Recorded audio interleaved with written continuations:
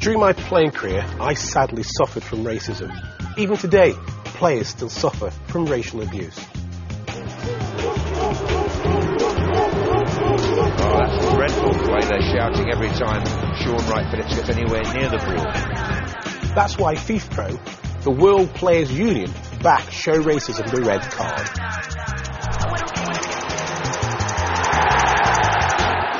Montrer le carton rouge au racisme.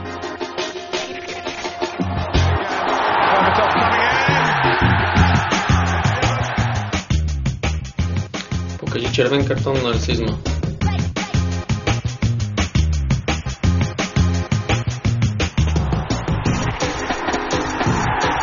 Hay que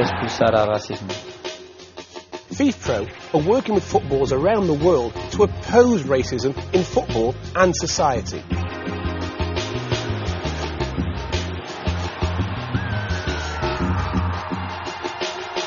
Show racism the red card. We are bringing the Show Racism Red Card campaign to the FIFA Confederation Cup. When top players speak out, we all listen.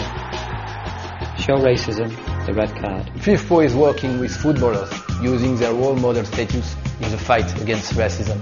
Show racism the red card. We ask key players to give their anti-racist message.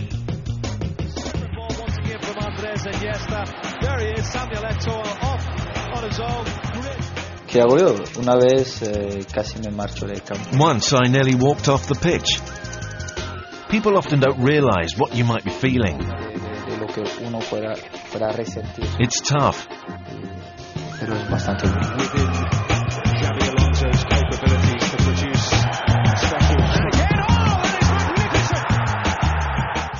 We will not accept racism in our society and in our game. Show racism the red card.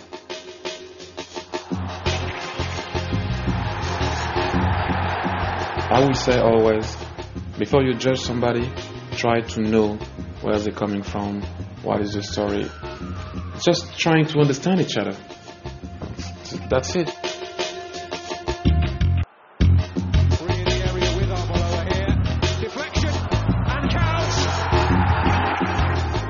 There's no place for racism in football and no place for racism in society. Show racism the red card. The most important thing is to work together, to to, to understand what this person like, what they don't they don't like. I mean, the, the most important thing is, is respect.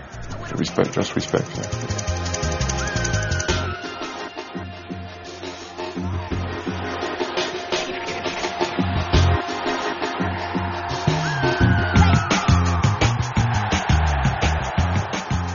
As, as you know, I played in, uh, in different countries and, and I've had so many friends, black friends and, and white friends and Muslim friends and Christian and Jewish. I never felt uh, that people are different.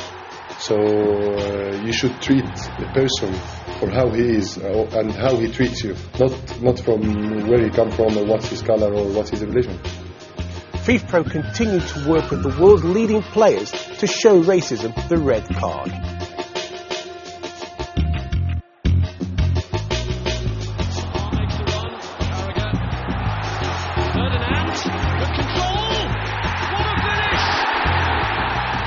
Yeah, I think uh, FIFA now obviously going to be going into all the different countries um, and looking hopefully at initiatives like this, and hopefully they can be the, the union now to take our template, what we have over in England and Scotland, and use it around the world. Show racism the red card.